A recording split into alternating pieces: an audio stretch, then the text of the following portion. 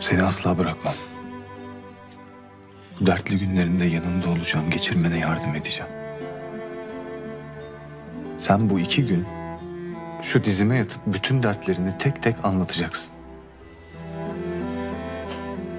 Sakın korkma. Hiçbir yere gitmeyeceğim. Gitsem bile ertesi gün meczup gibi hemen senin yanına döneceğim.